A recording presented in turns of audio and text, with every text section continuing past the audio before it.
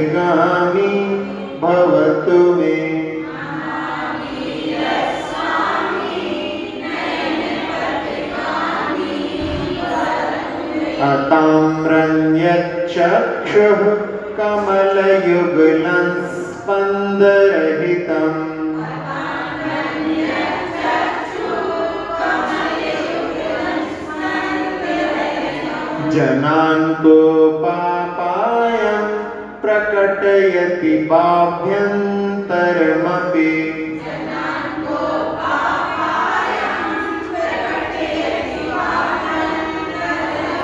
स्फुटं मूर्ते यस्य प्रशमितमयी वाति विमला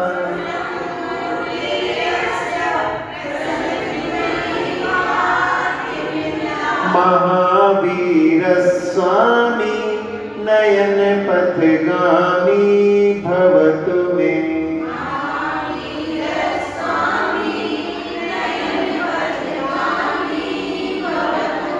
नमन्नाकेन्द्राणि मुकुटमणिभाजालजटिलम्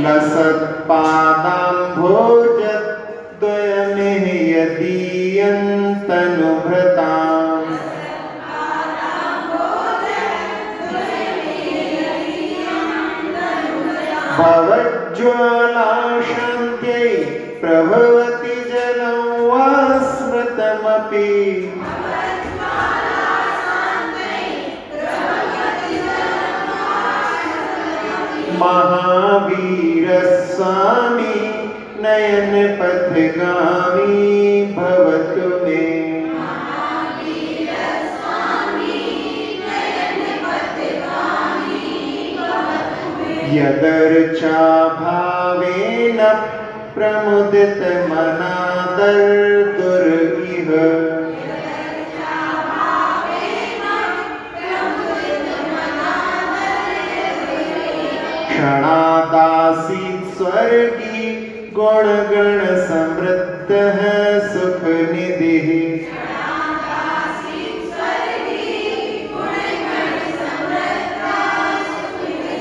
लभन्ते सद्भक्ता शिवसुखसमाजं किमु तदा?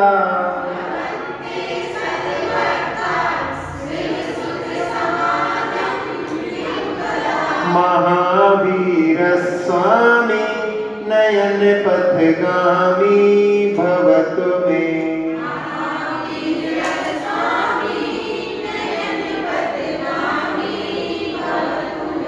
कल महावीर अष्टक प्रारंभ किया था, उसमें पहले काव्य में कि जिनकी चेतना में दर्पण के समान भावा यानी पदार्थ जो चेतन और अचेतन है, एक साथ में शोभायमान होते हैं, जो अपनी अपनी ध्रुवता और पूर्व पर्याय का विनाश नई पर्याय की उत्पत्ति के साथ में शोभायमान हो रहे हैं और अंत से रहित हैं, ऐसे जो भगवान के ज्ञान में प्रकाशित हो रहे हैं साथ साथ में वो जगत साक्षी यानी राग देश से रहित वितरागी हैं कर्ता धरता नहीं है और मार्ग को प्रकट कर रहे हैं, भानु के समान ऐसे महावीर स्वामी हमारे लिए दर्शन दें हमारे नए पथ पर गमन करने वाले बने।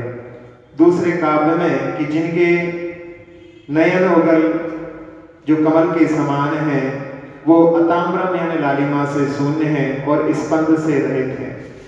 और लोगों के लिए उनके भीतर भी क्रोध का भाव दर्शाने वाले हैं और इनकी छवि स्पष्टता विकारी है। मानव शांति के द्वारा ही रची गई हो, ऐसे महावीर स्वामी हमारे दृष्टि पथ पर गमन करने वाले हों। तीसरे काव्य में कि इस जगत में जो स्मरण को प्राप्त हुआ भी जिनका शोभायमान, चरण कमल, युगल जो कि नमस्कार करते हुए देव लोगों के इंद्रों की पंक्ति के मुक्टों में लगी मणियों की किरणों से व्याप्त हैं। प्राणियों की भव ज्वाला को शांत करने के लिए समर्थ होता है, जिनका स्मरण भी मानो जल के समान हो, ऐसे महावीर स्वामी हमारे लिए दृष्टिपथ पर गमन करें।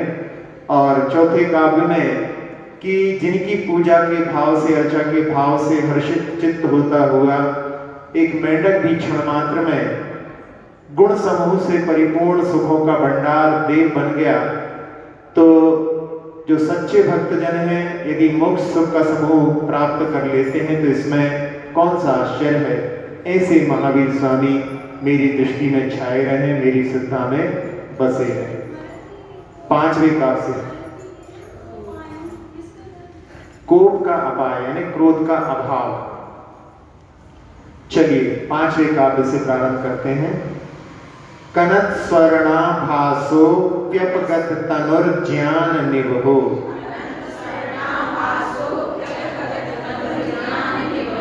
विचित्रात्मा पेको नृपतिवर सिद्धार्थ तनीय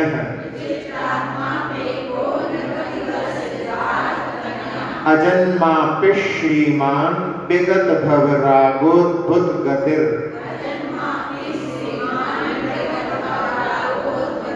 हाँ यहाँ पे पी में जो है, पी छोटी है और आगे श्री आ रहा है तो वहाँ पे सुराघात होगा। जब माँ पी अकेला बोलेंगे तो गलत गलत निकलेगा। वहाँ पे पिश, ऐसा जो है, सा मिला करके। अजन्मा पिश श्रीमान विगत भव रागोद्भुत गतिर।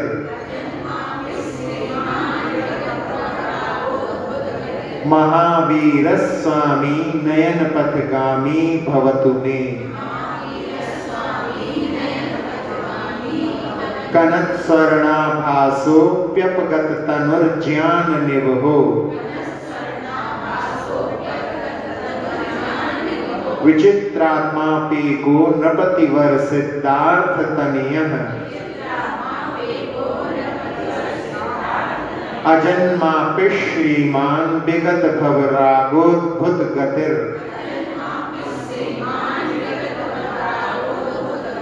कनक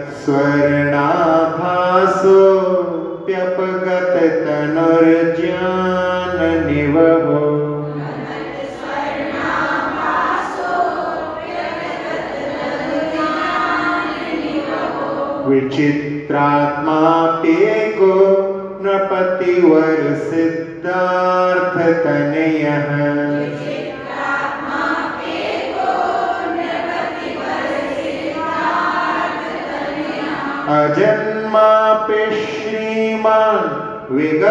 भवरागोद्भुत गतिर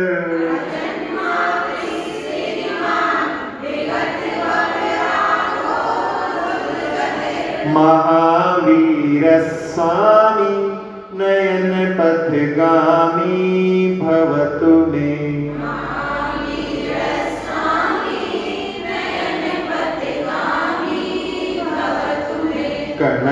कनत्स्वर्णाभासोऽप्यपगत तनुर्ज्ञान निवहो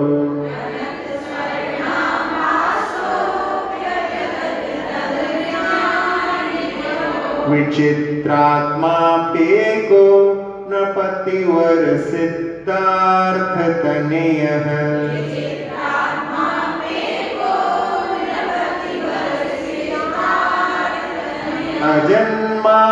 श्रीमान विगत भवरागोद्भत गतिर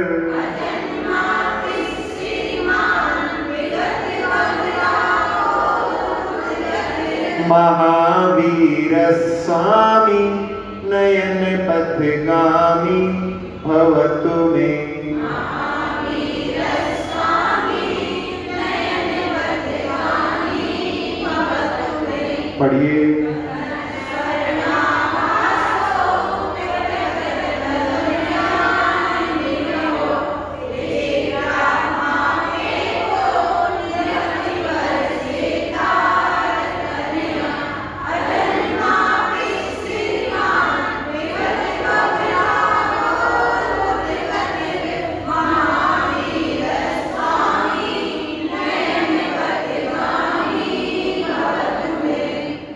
काव्य में पंडित भाक्षण जी ने विरोधाभास अलंकार लिया।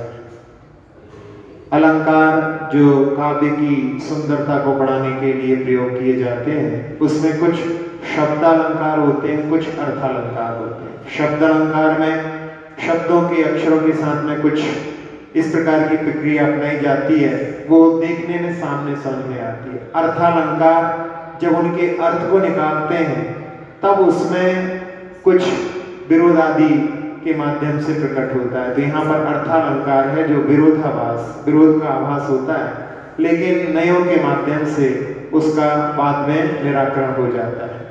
तो यहाँ कनक स्वर्णा स्वर्णाभास अपी, जो देदीप्यमान स्वर्ण सम आभा वाले हैं, फिर भी अपगत तनु, यानी तन से रहित है, और ज्ञान निवह, शरीर से रहित ज्ञान पुंज है। तो यहाँ पर दो चीज़ें बिल्कुल विरोध दिखाई दे रही हैं। लेकिन जब अपन यदि व्यवहार, स्तुति और निश्चय स्तुति की दृष्टि से देखें तो व्यवहार से उनकी शरीर के रंग की बात चल रही है और निश्चय से उनकी आत्मा की बात चल रही है। इस प्रकार से वहाँ पर दृष्टि डालते हैं तो वो विरोध दूर हो जाता है। कि व्यवहार से तो उनका शरीर का रंग ऐसा है लेकिन वास्तव में शरीर से रहित हैं वो और एक ज्ञान पुंज है, ज्ञान शरीरी है, इस दृष्टि से वो विरोध दूर हो जाता है। फिर विचित्रात्मा अपी एक, यहाँ पर भी पर्याय दृष्टि से देखें तो उनकी बहुत सारी पर्याय दिखती हैं। कहा तो वो, कब पुरुरवा भील थे, फिर उसके बाद में मारीची फिर उसके बाद में देखते हैं तो त्रिपृष्ठ नारायण के रूप में देखते हैं। फिर बाद में सिंह की पर्याय, उसके बाद में अच्युत इंद्र के रूप में, फिर शिशु महावीर, फिर युवा महावीर, श्रवण महावीर और समो शरणस्थ महावीर और सिद्ध अवस्था को प्राप्त महावीर। तो ऐसी विचित्र पर्यायों में जो अनेक रूपों में दिखाई देते हैं, लेकिन सब में एक ही आत्मा है। इस दृष्टि से, यहाँ पर भी द्रव्य दृष्टि से देखें और पर्याय दृष्टि से देखें तो भी वहाँ पर कोई भी विरोध नहीं रहता। फिर अजन्मा। जन्म रहित हैं और एक जगह कह रहे हैं, नृपति बर सिद्धार्थ तनियापी, जो नृपश्रेष्ठ सिद्धार्थ के पुत्र हैं और दूसरी तरफ़ अजन्मा जन्म से रहित हैं। यहाँ शरीर का जन्म तो पिता के माता माता के माध्यम से होता है, लेकिन आत्मा का जन्म नहीं होता। इस दृष्टि से वहाँ पर ये विरोध भी दूर हो जाता है। फिर इसके बाद में श्रीमान लक्ष्मी संपन्न होते हुए भी विगत भव राग संसारिक राग से परे है। समोसरण का जो वैभव होता है, जो लक्ष्मी होती है, वो वैसी लक्ष्मी संसार में दूसरी नहीं होती, लेकिन उसके प्रति भी राग से रहते हैं। इसलिए लक्ष्मी संपन्न होते हुए भी वो संसारिक राग से परे हैं। जिस कमल पर भी विराजमान होते हैं, सिंहासन पर भी विराजमान होते हैं, उसको भी स्पर्श नहीं करते तो ऐसी वैराग्य संपन्नता और किसी में नहीं देखी जाती। ऐसे अद्भुत गति वाले, यानी विचित्र परिणति वाले, ऐसे महावीर स्वामी हमारे लिए नयन पथगामी हो। ऐसी भाव इस काव्य में किए गए। अब यहाँ साथ ही साथ में अभी यहाँ पर ने व्यवहार और निश्चय या शुभोपयोग शुद्धोपयोग, द्रव्य दृष्टि, पर्याय दृष्टि के हिसाब से अपन इसको देखते हैं। व्यवहार ही निश्चय का कारण बनता है। यदि व्यवहार नहीं हो तो वो निश्चय के लिए जो है ढलने वाला नहीं होता। जैसे कुल्हाड़ी के माध्यम से वृक्ष आदि को काटा जाता है। तो कुल्हाड़ी का वो भाग जिसमें कि लोहा है और जो पैना है, उससे काटा जाता है, लेकिन जिसमें लकड़ी नहीं लगी हो, मूठ नहीं लगी हो तो वो कुल्हाड़ी भी काटने में समर्थ नहीं होती। तो जो डंडा है, वो व्यवहार है। जब तक वो नहीं लगेगा, तब तक वो कुल्हाड़ी भी काम करने वाली नहीं रहती है। ऐसे दोनों नयों के द्वारा यहाँ पर कार्य संपन्न होता है। इस प्रकार से इस स्तुति में अपन ये भी जान सकते हैं। और साथ ही साथ में यहाँ पर जो भगवान का रंग महावीर स्वामी का स्वर्ण बताया है तो दो गोरे, दो सांवले, दो हरियन दो लाल, सोलह कंचन वर्ण के तिन्हें नभाऊ भाग उनके लिए नमस्कार करते हैं। तो यहाँ पर दो गोरे में कौन कौन से भगवान हैं? चंद्र प्रभ नाम से ही जिनकी चंद्रमा के समान प्रभा है और दूसरे हैं पुष्प दंत। दंत जो है, सफ़ेद होते हैं तो पुष्पों के जैसे दंत हैं, जिनके इस प्रकार से दो भगवान जो है गोरे, दो सांवरे। सांवरे में कौन आते हैं?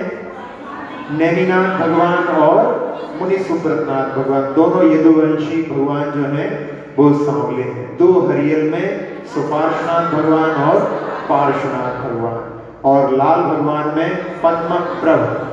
पद्म के समान जिनकी प्रभा है, कमल के समान, और वासुकुज। ऐसे जो है, भगवान हो गए। बाकी सोलह तीर्थंकर स्वर्ण वर्ण के होते हैं। तो इस प्रकार से इनके व्यवहार स्थिति को भी दृष्टि में रख करके यहाँ पर अपन इस काव्य को समझ सकते हैं। तो यहाँ भगवान में कई विरोध, निर्विरोध विद्यमान है। देदीप्यमान स्वर्ण जैसी आभा वाली देह से युक्त होकर के भी निश्चय से वे अशरीरी हैं, ज्ञान के पुंज हैं। वे अनेक रूप अर्थात कई पर्यायों में रह करके भी एक हैं आत्मा की दृष्टि से। वे नृप श्रोमणी सिद्धार्थ के पुत्र होकर भी अजन्मा अर्थात आगामी जन्म से रहते हैं, इस प्रकार से भी अर्थ उसका निकाला जा सकता है। एवं श्रीमान अर्थात ज्ञानादि अंतरंग एवं प्रातिहरदि बहिरंग लक्ष्मी से संपन्न होकर के भी वीतराग हैं। ऐसी अद्भुत परिणति वाले महावीर स्वामी मेरी दृष्टि में छाए रहे, मेरी श्रद्धा में बसे रहे। अब अगला काव्य लेते हैं। यदीया वाक गंगा विविध नय कल्लोल विमला बृहज्ञानाम्भोभिर जगति जनतान या स्नपयति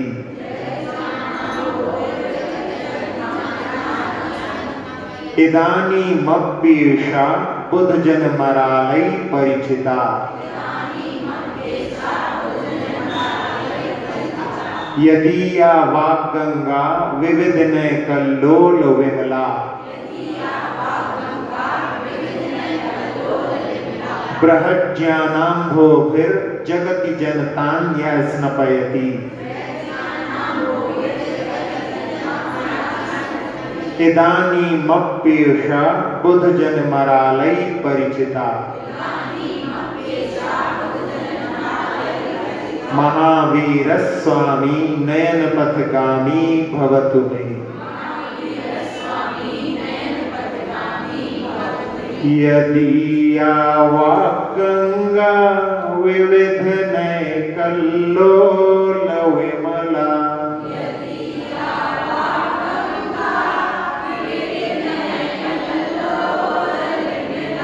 बृहज्ञानाम्भोभिर्जगति जनतान्या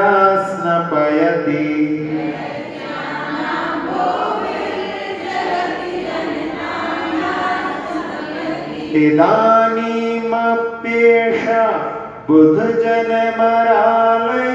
परिचिता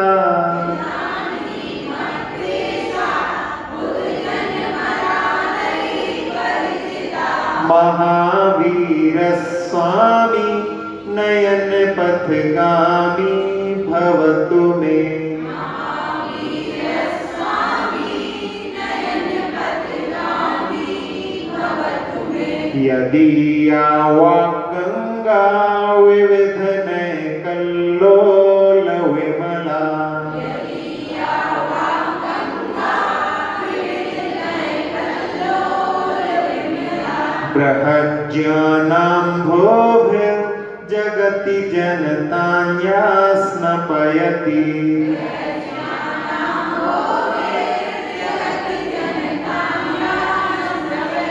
इदानीमप्येषा बुधजनमरालै परिचिता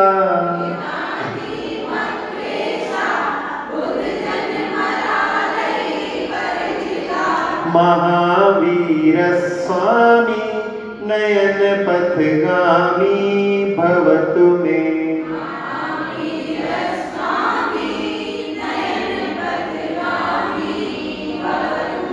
पढ़िए।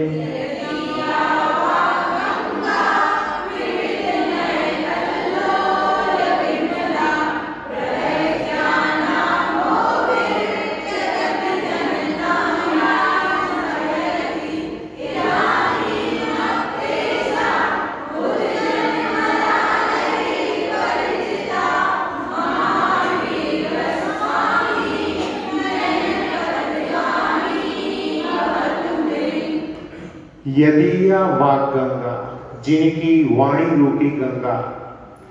विविध नए कल्लोल विमला विविध प्रकार के नए, वही उनमें तरंगे हैं और उनसे वो विमल है। जब तरंगे उठती हैं तो पानी में जो भी कचरा होता है वो बाहर की ओर फिक जाता है। तो अनेक प्रकार की नए रूपी तरंगों के कारण में जो सच है, विमल है, या जगती जनता जो जगत में जनता को बृहद भोगी, यानी महान ज्ञान रूपी जल के द्वारा स्नपयती यानी नहला देती है। और इदानी अपी अब भी बुद्ध जन मरालई मराल शब्द जो है हंस के लिए आता है।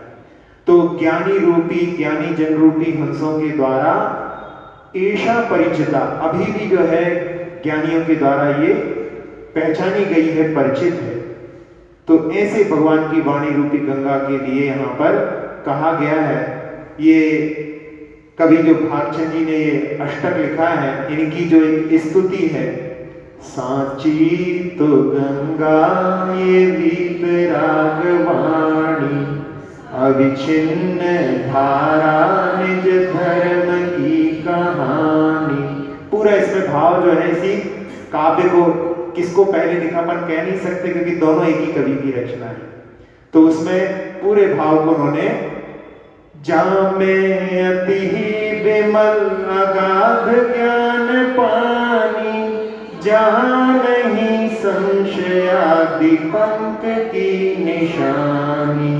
साची तो गंगा यह बीत रागवाणी सप्तभंग जह तरंग उछलत सुखदानी। संत चित मराल गंध रमे नित्य ज्ञानी। साची तो गंगा यह बीत रागवाणी। जाके अब काहन ते शुद्ध होए प्राणी। भाग चंद नीचे घट माहिया प्रमानी सांची तो गंगा यह बीत रागवाणी। अविचिन्न धारा निज धर्म की कहानी। जहाँ गंगा नदी बहती है भदेनी घाट में जहाँ पर सुभाषनाथ भगवान का निर्वाण क्षेत्र है जन्म क्षेत्र निर्वाण क्षेत्र तो शिखर जी में जन्म क्षेत्र जो भदेनी बनारस में वहाँ पर स्यादवाद विद्यालय और उस स्यादवाद विद्यालय के नीचे विद्यालय है, ऊपर जिनालय है तो जिनालय के बाहर, पत्थर का जिनालय है, उस जिनालय के बाहर में वहाँ पर ये जिनवाणी लिखी हुई है।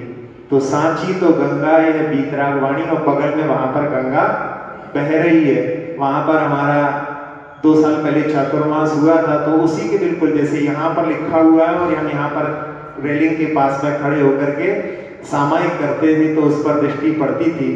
तो वो पंक्तियाँ इस काव्य को लेकर के लिखी गई या काव्य को इसके बाद में बनाया, ये तो पर नहीं कह सकते, लेकिन यहाँ पर पूरे भाव को यहाँ पर उन्होंने उसमें तो यहाँ पर जैसे आया था, बुद्ध जन मरालई तो यहाँ पर संत चित्त मराल व्रत मराल यानी कोई हंस के समान जो हंस का समूह है, उसमें रमता है। तो ऐसे भगवान की वाणी के लिए गंगा कहा है? वैसे तो गंगा में स्नान करने से पवित्रता को लोग मानते हैं। पहले भी आप लोगों को सुनाया था कि जब महाभारत का युद्ध संपन्न हुआ और पांडवों ने सोचा कि बहुत हिंसा हुई है, उसके प्रक्षालन के लिए तीर्थ यात्रा करनी चाहिए। और उन्होंने श्री कृष्ण जो अर्धचक्री रहते हैं, उनसे कहा कि आप भी चलो। तो उन्होंने कहा कि हम तो बहुत व्यस्त हैं। हम तो नहीं जा पाएँगे। आप हमारे प्रतिनिधि को साथ में ले जाए। और उन्होंने एक तुम्बी उनके साथ में दे दी। वो जहाँ भी जाते, जहाँ भी स्नान करते, वो एक बार स्नान करते उस तुम्बी को कई बार स्नान कराते। और जब लौट करके आए तो उनके प्रतिनिधि को लौटा करके अपने घर की ओर लौटने लगे। तो उन्होंने कहा कि ऐसे नहीं, भोजन के बाद में प्रस्थान करना तो उन्होंने कहा, ठीक है, भोजन करने के लिए बैठे और सबसे पहले सबसे पहले आद्य मधुरम, सबसे पहले मधुर जो है, कुछ दिया जाए तो सबको खीर परोसी गई। और एक साथ सबके लिए खाने के लिए भी कहा गया। जैसे ही उन्होंने पहला ग्रास अपने मुख में रखा और सबके मुख वहाँ पर विवरण हो गए, यानी जो प्रसन्नता थी वो वहाँ पर गायब हो गई। कड़वी है। आपकी बचपन की हरकतों की आदत अभी भी नहीं छूटी। तो उन्होंने कहा कि जिस कुंभी तुम्बी कुंभी कड़वी तुम्बी को आप पूरे जगह पर कई बार स्नान करा करके लाए, उसका कड़वापन दूर नहीं हुआ तो उसमें स्नान करने से अपने कड़वेपन कैसे, कर्मों के कड़वेपन कैसे दूर हो सकते तो उसमें स्नान करने से भले ही शरीर की शुद्धि मान लो, लेकिन आत्मा कभी भी शुद्ध नहीं होती। तो उसके बाद में ही महाभारत का ये काव्य जो श्री कृष्ण के द्वारा रचित माना जाता है, उसमें कह रहे हैं वो, आत्मा नदी संयम पुण्य तीर्था सत्योदका शील तटादयोर्मी, तत्रावगाहं कुरु पाण्डुपुत्र नावारिणा चांतरात्मा कह रहे हैं उसमें कि आत्मा नदी है। और संयम रूपी उसमें पुण्य उसके घाट है, और सत्य रूपी उसमें जल है शील रूपी तट है, और दया रूपी उसमें लहरें उठ रही हैं। उसमें अवगाहन करोगे पांडु पुत्र, पानी के माध्यम से कभी भी अंतरात्मा पवित्र नहीं होती। तो ऐसे जो है, सही वाणी तो भगवान की, सही गंगा तो भगवान की वाणी है, वो इस काव्य में कही है। कुछ व्यंग के रूप में एक और बताया था। व्यंग नहीं, लेकिन बात जहाँ पर जो है, यथार्थता को ही बताने की है कि जब स्वामी रामकृष्ण परमहंस से पूछा गया कि गंगा में स्नान करने से पाप कैसे धुल जाते हैं तो उन्होंने कहा कि सुना तो है, लेकिन उन्हीं के धुलते हैं जो एक बार गंगा में घुसे तो निकले नहीं। तो कहले ऐसा कैसे हो सकता है? कोई घुसेगा तो निकलना पड़ेगा। तो कहले घुसते हैं तो क्या होता है? पापों का पाप जो है वहाँ से उछल करके और पास में जो वृक्ष है उनके ऊपर चढ़ जाते हैं। और जब व्यक्ति उसमें डूबा रहता है, तब तो पाप से रहित रहता है, लेकिन जैसे ही बाहर निकलता है तो वो पाप छलांग लगा करके पुनः उसके ऊपर ही चढ़ जाते हैं। मतलब उनका यही कहना का था कि पानी से जो है शुद्धि मानते हैं, आत्मा की वो शुद्धि नहीं होती। दूसरे रूपक के रूप में भी बताया था कि गंगा से कहा कि तुम इतने सारे पापियों को स्नान कराती हो राम तेरी गंगा मैली हो गई, पापियों के पाप धोते धोते तो गंगा ने कहा कि मैं तो सारे पाप अपने पास नहीं रखती, सारे के सारे समुद्र के लिए भेज देती फिर सागर से कहा तो सागर ने कहा, हम भी अपने पास नहीं रखते, हम सारे पाप बादलों को भेज देते हैं। बादलों से पूछा तो बादल कहते हैं कि हम जिनके पाप होते हैं, उन्हीं के ऊपर वापस पहुँचा देते हैं। इसका मतलब है पानी के माध्यम से अंतरात्मा पवित्र नहीं होती। तो इसमें जो प्रभु वाणी नय रूपी लहरों वाली स्वच्छ गंगा नदी ही है, जो महाज्ञान रूपी जल से जगत के प्राणियों को नहलाती है। अब भी, आजकल भी, जो विवेकी जन रूपी हंस इसे पहचान लेते हैं, अथवा ज्ञानी जन आज भी जिन वाणी का अभ्यास करते हैं, ऐसी वाणी वाले अंतिम तीर्थंकर हमारी दृष्टि में बने रहे, हमारी श्रद्धा में बसे रहे। अनिर्वा रुद्रिकस त्रिभुवन जयी काम सुहट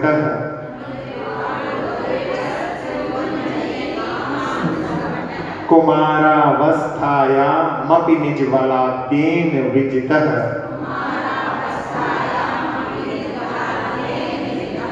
स्फुरन नित्यानंद प्रशम पद राज्याय सजनो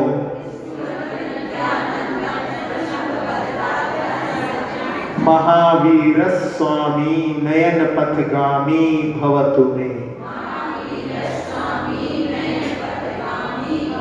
अनिर्वारोद्रेकस्त्रिभुवन जयी काम सुभटः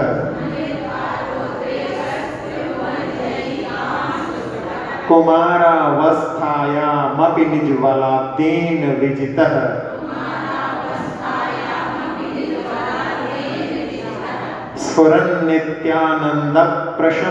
राज्याय सजनो महावीर स्वामी नयन पथगामी भवतु में।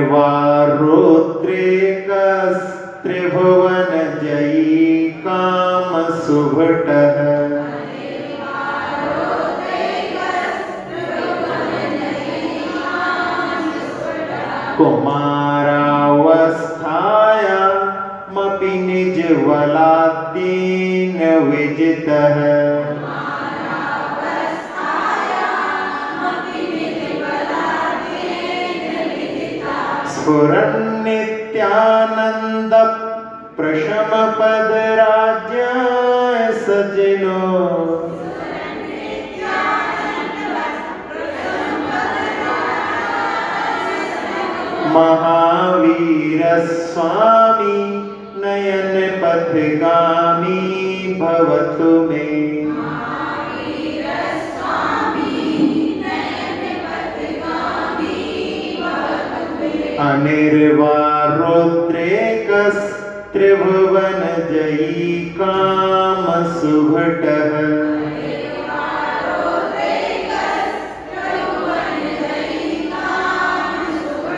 कुमारावस्थाया मपि निजवलातेन विजितः।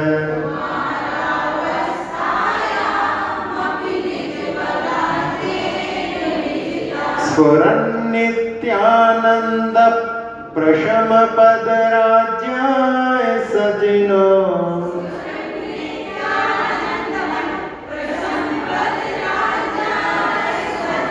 महावीर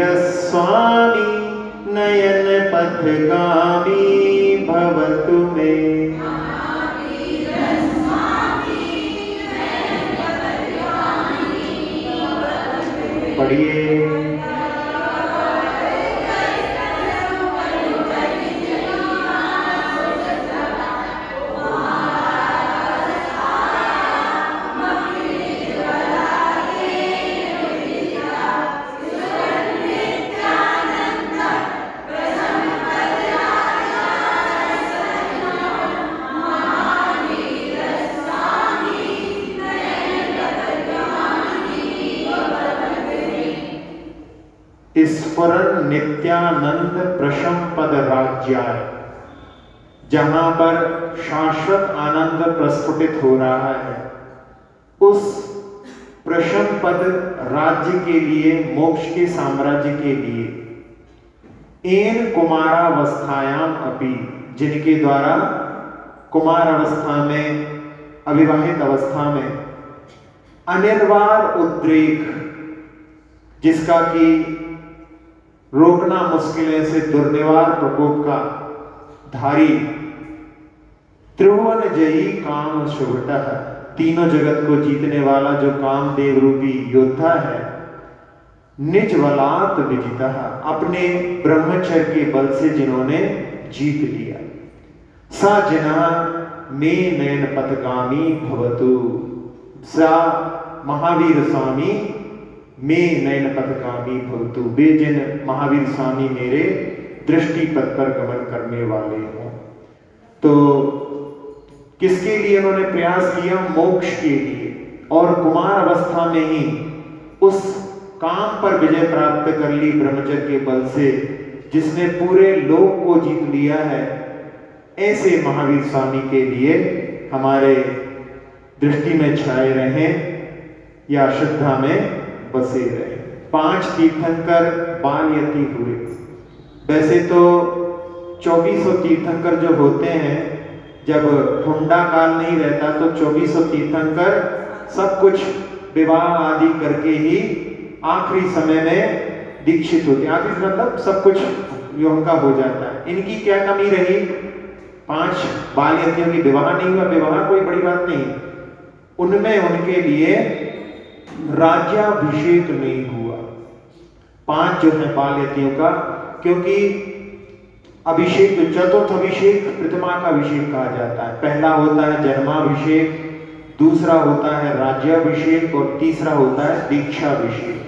तो तीन अभिषेक में दो अभिषेक तो सबके हुए। जन्माभिषेक भी चौबीस तीर्थंकरों का हुआ और दीक्षा अभिषेक भी चौबीसों का हुआ, लेकिन राज्याभिषेक पाँच तीर्थंकर का नहीं हुआ।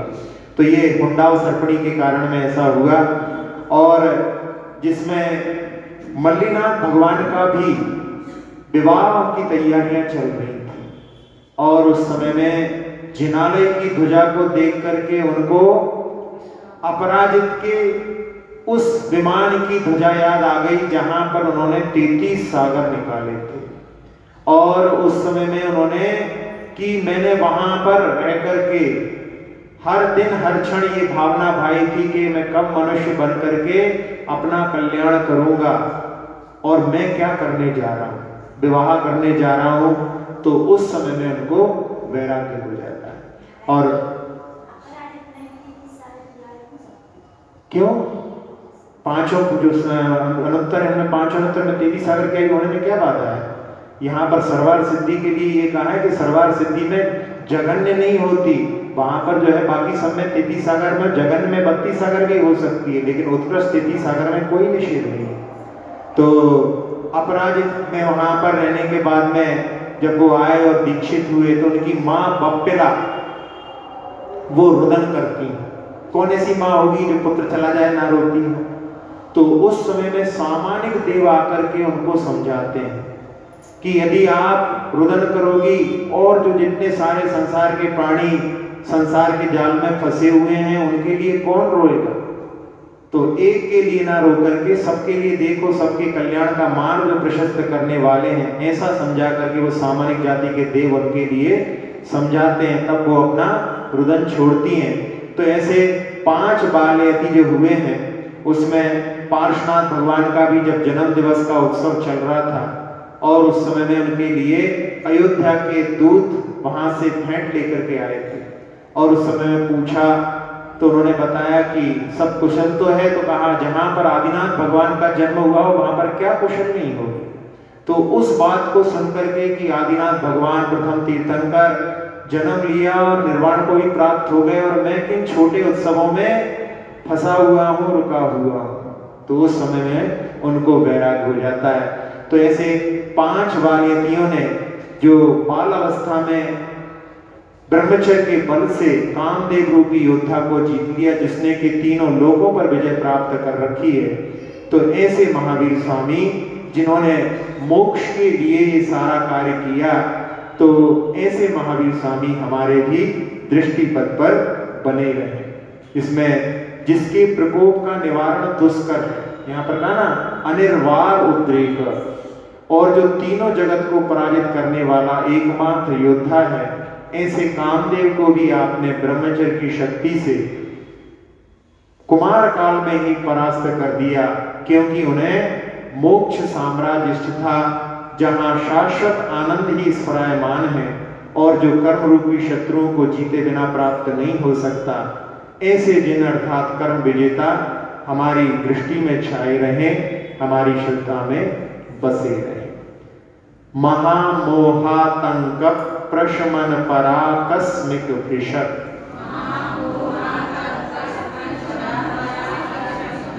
निरापेक्षो बंधुर्विदित महिमा मंगल कर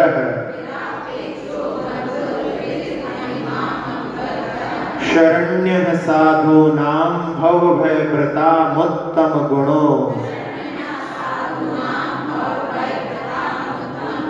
महावीर स्वामी नयन पथगामी भवतु में। महामोहातंक प्रशमन पराकस्मिक भिषक निरापेक्षो बंधुर्विदित महिमा मंगल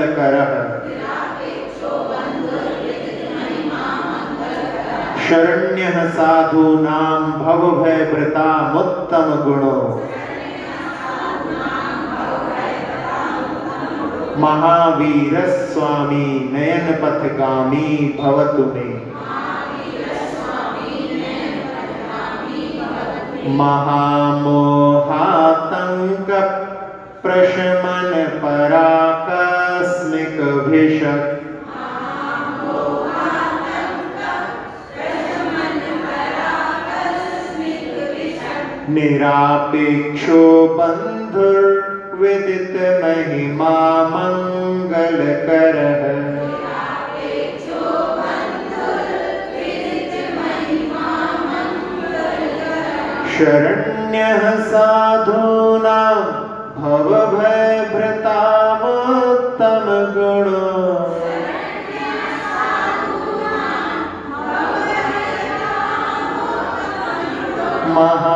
महावीर स्वामी नयन पथगामी भवतु में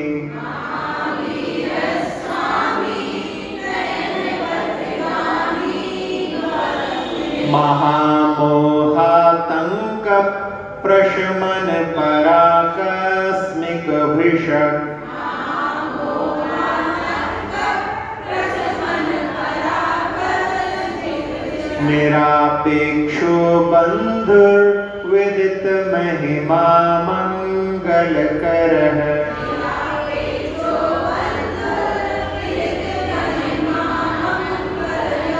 शरण्य साधुना भव भ्रतामोत्तम गुण।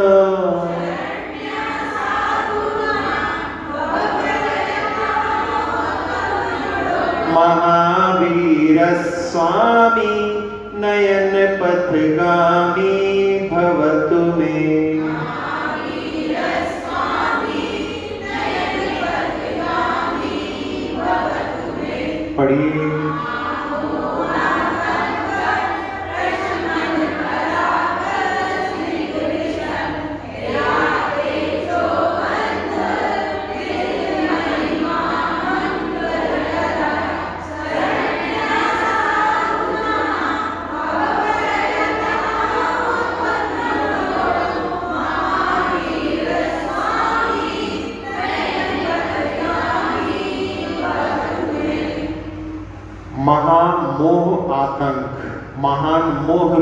आतंक जो है रोग के लिए कहा जाता है। तो जो महामोह रूपी रोग, प्रशमन, यानी उसको शमन करने में परा आकस्मिक भिषक जो तत्पर अप्रत्याशित वैद्य हैं, यानी आकस्मिक प्राप्त हो गए। निरापेक्षो बंधु और जो निस्वार्थ बंधु हैं, कोई स्वार्थ नहीं। विदित महिमा, जिनकी महिमा विख्यात है। मंगल कर जो मंगल करने वाले हैं। भव है व्रताम साधु नाम शरण्य जो संसार भ्रमण के भय को धारण करने वाले सत्पुरुष हैं उनके लिए रक्षक हैं। और उत्तम गुण, जो उत्तम गुणों के धारी हैं, ऐसे महावीर स्वामी हमारे दृष्टि में आए, ऐसी भावना है। तो सबसे पहले मोह मोह का जो रोग है, अनादिकाल से संसारी प्राणी उससे ग्रसित है। तो मोह को समझने के लिए एक उदाहरण नृप नापित न्याय के माध्यम से। राजा ने अपने नाई से कहा कि इस राज्य के सबसे सुंदर व्यक्ति का मैं सम्मान करना चाहता हूँ। और तुम सब लोगों से मिलते हो। नाई का काम रहता है, सब लोगों से मिलना होता है।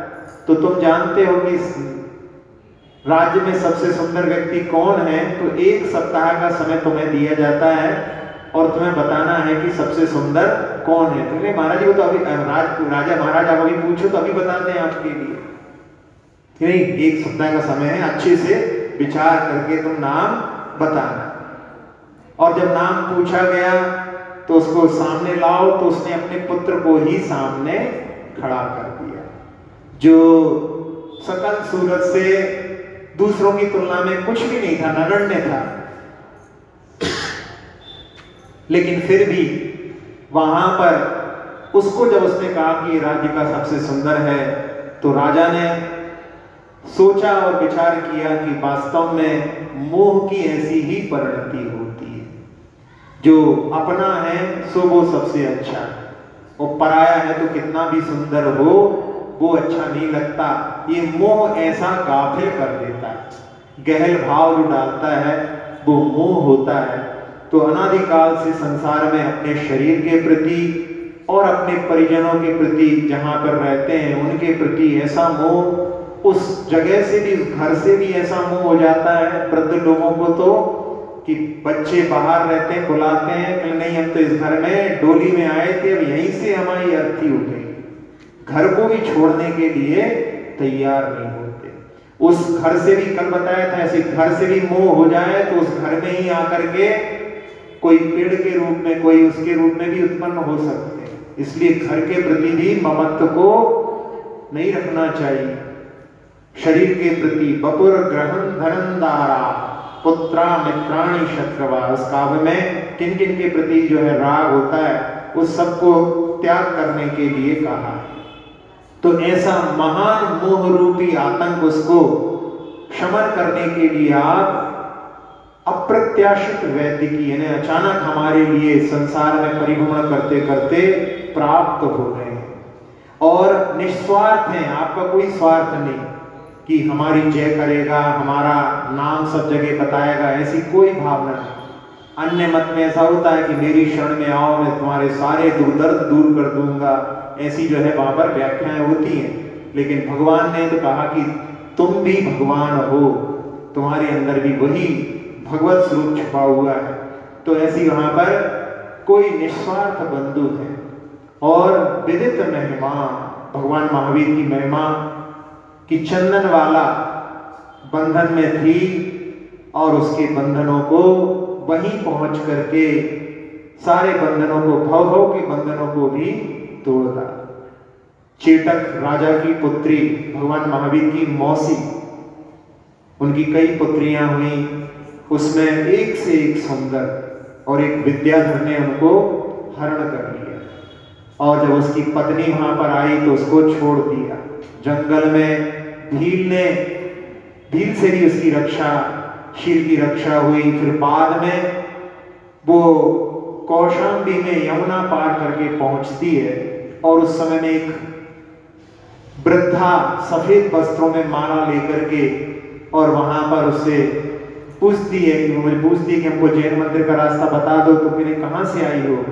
चलो, मैं तुम्हें पहुँचा दी तुम्हें तो आप तो जो है स्नान करने जा रही थी तो कहा कि लोगों के लिए सहायता करना स्नान से ज़्यादा बड़ा कार्य है। और वो अपने हवेली में ले जाती है। और हवेली में जब वो प्रवेश करती है, थोड़ा आगे बढ़ती है, और उस समय वहाँ पर देखती कहीं पर संगीत की ध्वनि आ रही है, कहीं पर घुघरों की आवाज़ आ रही है तो वो समझ जाती है कि ये तो कोई गलत जगह पर ले आई। तो उस समय में वो लौटती है, तब तक वहाँ पर जिस द्वार से आई थी, वो द्वार बंद हो चुका था। फिर वहाँ से उसको रूप की हाट लगती थी वहाँ पर, जहाँ पर खड़े करके मंच के ऊपर वहाँ पर विक्रय होता था। 500 1500 मोहरों में जहाँ पर उसकी बोली लगी और उस बोली की आवाज़ वहाँ से दत्त सेठ निकलते हैं रथ में, उनकी कानों में पड़ती है। और वो एक दृष्टि डालते हैं, उसके वस्त्रों को देख करके ये तो कोई राजकन्या है और साथ साथ में उसके रूप को देख करके ये तो बिटिया जैसी है, ऐसे भावों से वो जाकर के वहाँ पर पाँच हज़ार मोहरों में उसको ले लेते हैं। उस समय वो व्यंग करती है कि इस वृद्धावस्था में लगता है आपकी नज़र कमज़ोर हो गई। पाँच हज़ार में तो पाँच मिल जाती। तो उस समय में वो कहते हैं कि तुम अपनी नज़र को देखो, तुमने देखा नहीं, एक लाख की तो इसकी ओढ़नी है। जैसे ही सुनती है वो, और वो उस समय कहती है कि ये सब जो है, रिश्ता जो हमने किया है वो सब जो है खारिज करती है। उस समय में वो कहते हैं कि तुम वृषभ दत्त सेठ को नहीं पहचानती, जिसका सम्मान यहाँ का राजा शतानिक भी करता है। और ये रखो पैसे और ये रखो इस कन्या को, यदि शाम तक तुम अपना स्वामित्व इस पर घोषित नहीं कर पाई तो काल कोठरी में जीवन भर सड़ना होगा। और वो वहाँ पर पैरों में गिर जाती है, स्वयं आकर के उनके रथ में उसको बिठा करके और जैसे ही वो चलते हैं, उस समय में वो रुदन करती है, चंदन वाला तो कहती है, बेटी, रुदन मत करो, अब तुम्हारे दुख के दिन व्यतीत हो गए, अतीत हो गए। तो उस समय में सोचती है कि ये अभी मिली थी तो मुझे माँ बन करके, बेटी बोल करके मुझे कहाँ ले गई? और अब ये फिर जो है बेटी बोल करके कह रहा है, लेकिन बाद में वो कहती, बाद में वो सेठ कहते हैं कि मैं आज श्रवण महावीर के दर्शन करने जा रहा था, लेकिन रास्ते में ये दृश्य देख करके मैं रुक गया। अब फिर कभी चलेंगे। और वहाँ पर घर में उनकी जो है पत्नी ही उनके ऊपर शक करने लगती है और उनको बंधन में डाल देती है। और उसी समय में श्रवण महावीर वहाँ पर आते हैं और उनके माध्यम से उसका कल्याण होता है। बाद में उन्होंने गणनी पद को भी प्राप्त किया। ऐसी चंदन वाला जिनकी महिमा यहाँ पर कह रहे हैं कि विदित महिमा, जिनकी महिमा सब लोग जानते हैं, जो मंगल कर मंगल मंगल सुखम लाती इति मंगल। तो पुण्याश्रव जिनकी आराधना, पुण्य का आश्रव करने वाली है। और मम पापम गालियती, यानी पाप की निर्जरा करने वाले भी हैं, ऐसे भगवान के लिए। और जो भव से भयभीत हैं, उन सज्जनों के लिए वो शरण्य है। और एक से एक उत्तम गुणों के धारी ऐसे महावीर स्वामी हमारे लिए नयन पथगामी बने, ऐसे भाव के साथ में इस काव्य में कि जो शासन नायक है भगवान महावीर, जिन्होंने मिथ्यात्व रूपी रोग का समन करने वाले अप्रत्याशित वैद्य राज के रूप में हम देखते हैं, जिनका कोई स्वार्थ नहीं है, ऐसे मित्र हैं, जिनकी महिमा जगत में प्रसिद्ध है और कल्याण मंगल के करता है, जो भव भ्रमण से भयभीत सत्पुरुष हैं उनके लिए वो शरणागत प्रतिपालक हैं और श्रेष्ठ गुणों के स्वामी हैं। ऐसे महावीर स्वामी हमारे दृष्टि में छाए रहे, हमारी श्रद्धा में बसे रहे। अब आखिरी में यहाँ पर कवि भागचंद जी जिन्होंने जिनका उपनाम भागेंदु था, इस काव्य को समाप्त करते हुए महावीराष्टकं स्तोत्रम भक्त्या भागेन्दुना कृतम् यह पठे चापी सयाति परमांगतिम महावीराष्टकं स्तोत्रम् भक्त्या भागेन्दुना कृतम् यह पठे चापी सयाति परमांगतिम पढ़िए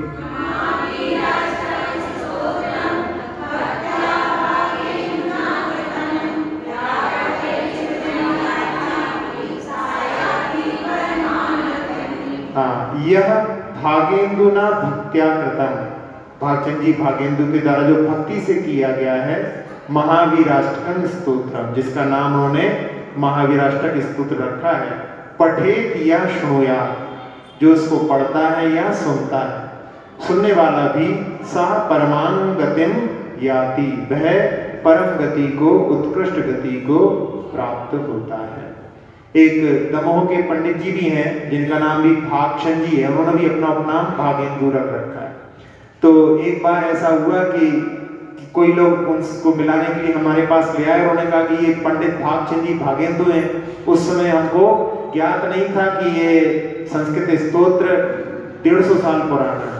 तो हमने कहा ये आपका स्तोत्र तो बड़ा प्रसिद्ध है महावीराष्ट्र तब पता पड़ा कि नहीं, ये वो भागचंद जी नहीं भागे भागेंदु जी नहीं है। ये तो ईसागढ़ के डेढ़ सौ साल पुराने पंडित जी थे, उनके द्वारा ये रचित महावीराष्टक है, जो बड़ा प्रसिद्ध है। तो आज यहाँ पर अपन इसका समापन करते हैं। इसमें जो है चार जो है काव्य, पन्ने और आखिरी का समापन काव्य पड़ा है। इसको एक बार फिर से उच्चारण कर लेते हैं। कनक प्यपगत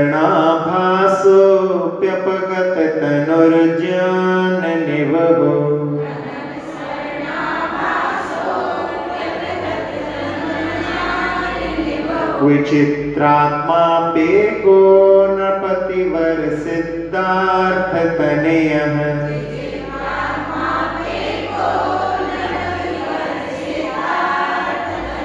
अजन्मापि श्रीमान् विगत भवरागोद्भुत गतिर्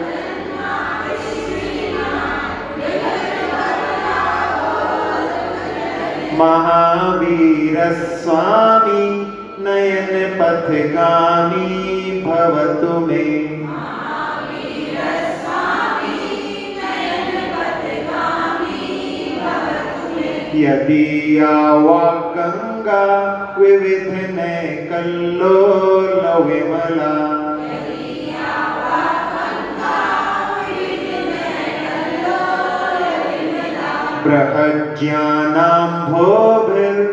विमला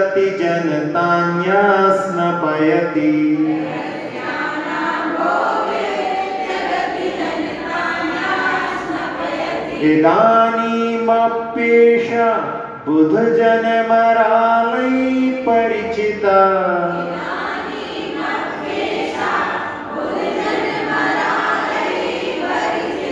महावीर स्वामी नयन पथगामी भवतु मे।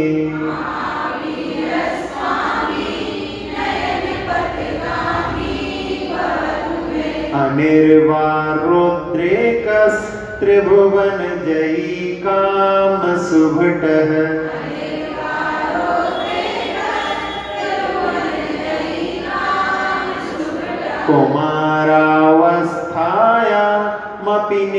निजबलाद्येन विजितः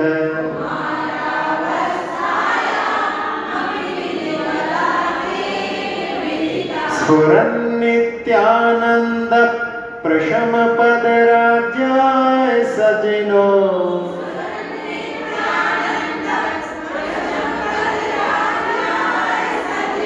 महावीर स्वामी नयन पथगामी भवतु मे।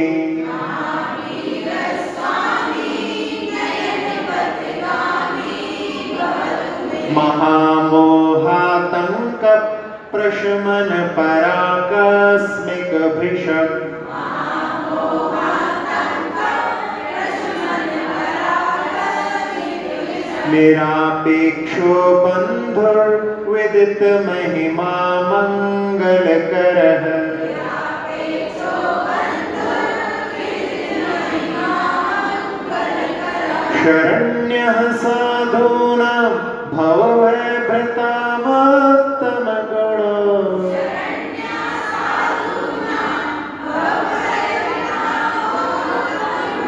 महावीर स्वामी नयन पथगामी भवतु मे।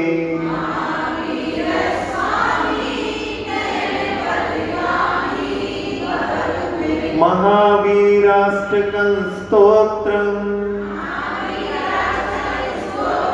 भक्त्या भागेन्दुना कृतम्। यह पठे छुया चापी सयाति परमंगतिम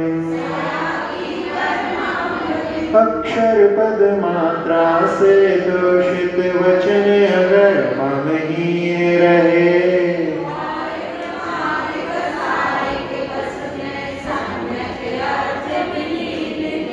जिन वाणी माता मेरी सब त्रुटियों को क्षमा करे।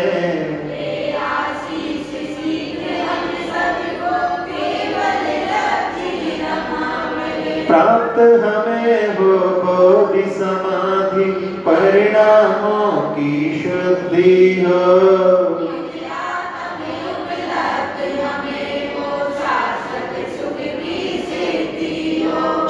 चिंतित वस्तु दात्री माता चिंतामणि उपमा भाती